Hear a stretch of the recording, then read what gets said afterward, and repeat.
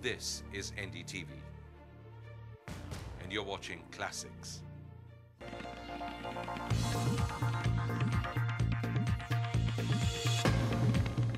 Hello and welcome to Walk the Talk. I am Shekhar Gupta in Bangalore's magnificent Vidhan Soudha. And my guest today, somebody with perhaps one of the most tough jobs in Indian politics, Mr. Dharam Singh, Chief Minister of Karnataka. Is that correct? One of the toughest jobs in Indian politics?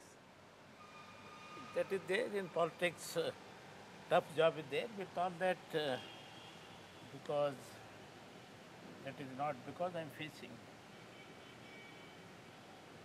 What makes it particularly tough in Karnataka? Tough means uh, first time in the Karnataka state, two parties together to prevent certain forces out. We have become one in the Karnataka state, like UP government in the center. And these two parties have been fighting each other in, ele- in elections, right even from- now. No, right from beginning, that Janata Dal has, they they fight each other and uh, because it is political circumstances that has forced us to take a decision. Now we have become one in the Karnataka state. But must be tough to share power and at the same time fight election, by-elections against each other. No, because what happened in Karnataka state politics is a peculiar. Because after the result, we have become one. It is alliance after the election result, not for before the alliance. Because Congress and the left haven't really fought elections against each other since they came to That power. Uh, in Maharashtra now, NCP and Congress don't fight against each other, but you and your party and Mr. Deve Gowda still continues to fight. Uh, that is there, no, because uh, we have become one, because not much, because certain things, because in a different political context we have taken a decision, we have become not so. Because uh, now really we are doing the work with you together. Or is, because, because of this, does governance suffer? Does it become that much difficult to run a government? No, for my, it is 14 months experience. There is no difficult for me because I am in the politics in 35 years. This is the result-oriented government. To prevent certain forces in the country, we have become one, and uh, we have given. a No, that objective was achieved. But after that, there is an impression around the country in Delhi that too much effort is being spent in undoing what your predecessor's government was doing. No, because Gupta ji, that is coming in the paper, two parties together, it is very difficult task.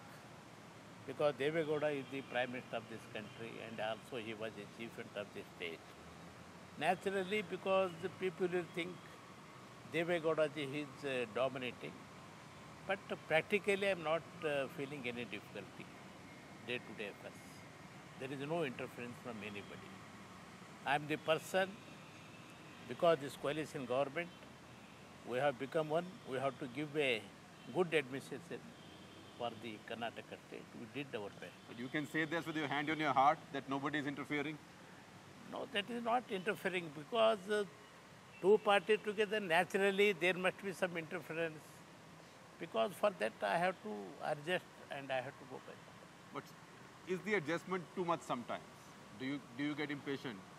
No, that is not there. Because I had to manage because the Sonia Gandhi ji has entrusted me this responsibility and also Manmohan Singh ji. And Deve Gowda and myself, we had a very, because people are seeing what is the expectation of people, we have to do better. See, the impression is that Mr. Deve Gowda hates your predecessor from your party, Mr. Krishna. You don't particularly love him also. So too much effort is now being spent No, no. in trying to find corruption and what, what was the- done then, to No, no. try and fight faults. That is not the fact, that is the impression. It is an Because impression. uh, for me, when uh, uh, S.M. Krishna was the chief I'm not saying it's not a fact, but it's a strong impression. That is the impression in the paper, but that is not a fact. What's your view on your predecessor, Mr. Krishna? No, he was uh, because when S.M. Krishna was the chief minister, I was uh, PW minister, I worked under him. And when I was a Congress president, for two years. At that time, S.M. Krishna has given a good support to me. Nothing to say about the S.M. Krishna. Now it seems, He is also senior politician of this Karnataka state. but see, you are being diplomatic, but Mr. Deve Gowda doesn't hide his views on Mr. Krishna. He also sees him as a challenger from within his own caste. That will uh, that is natural because they are belong to old Mysore area, and uh, they are having a quite differences with all that. Uh, not much what that has appeared in the paper. On that, is there pressure from Mr. Gowda to take action against some of the things that Mr. Krishna had done, or to investigate things he was doing, like your Mysore highway? No, because he has not uh, specifically told, he has not given instruction anything to me, nor he has expected from me. Because as a chief minister of the state, I have to balance whatever things to the better interest of the state, I have to do it. I it. Right. But you felt no pressure. No pressure. Long telephone calls, midnight calls, No, love no. letters. No, no. Because naturally, because he was a chief of the state, naturally for certain things, is naturally we're uh, having a personal meeting and also telephone call I am receiving. According to that, I will take my own decision. But you know, there's also a feeling that in politics you are a lightweight because you don't belong to Karnataka. You you don't really have a vote bank of your own in this state. And that's why Mr. Gowda wanted you as chief minister, so he could run the government from No, no, you. no, that is not the case. Because I am in the politics since 35 years. I was uh, eight times elected uh, from a constituency without break. I was a parliament member in 1980. And I vacated for CM Stephen. Before that, I was a corporator. Because that is not a blight, because I am in the, I got the rich experience. Out of that experience, I am doing my best. Right. But many people, in partic- particularly in Bangalore, think that best is not good enough. For example, a lot of the infrastructure projects have slowed down. Bangalore airport, new airport has taken a lot of time after many hiccups and much pressure it has started. And when somebody walks into Bangalore out of the airport, the first thing he sees is not just unfinished flyovers, but flyovers where the steel girders are actually rusting now. So it's obvious that no work has been done for a long time. Gupta ji, this is Bangalore International Airport, this problem is there since 1996. Yes. When so Anand 10 Kumar years. was, after 10 years. Because I am proud to say that this is the coalition government who have taken a decision. Because I have promised when Putin was here, when he here, when he told me, when we met, because he can't speak English, he told Mr. Dharam Singh, Putin. airport, Putin, Ah. Russian president. I promised him definitely we are going to. So what did Putin say to you? You, need an airport here. Ah, airport here.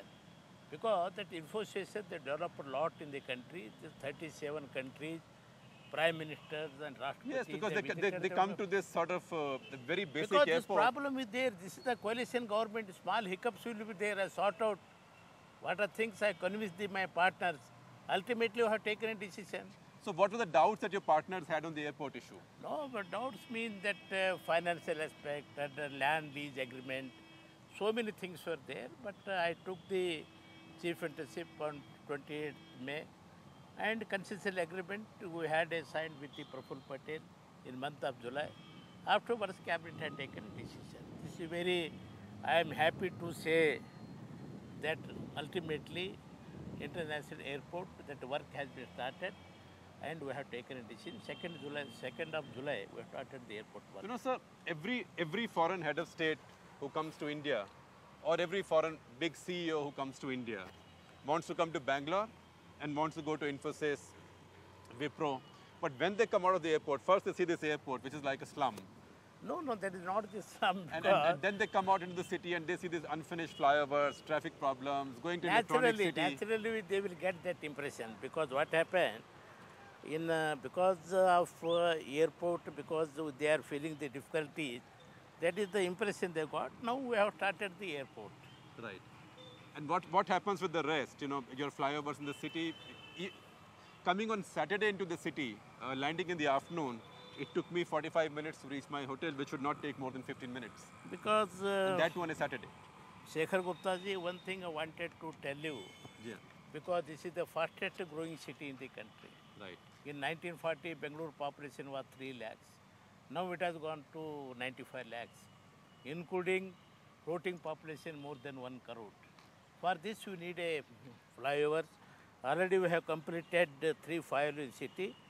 Three, another three flyovers we have to go to complete because the UP construction company they have taken.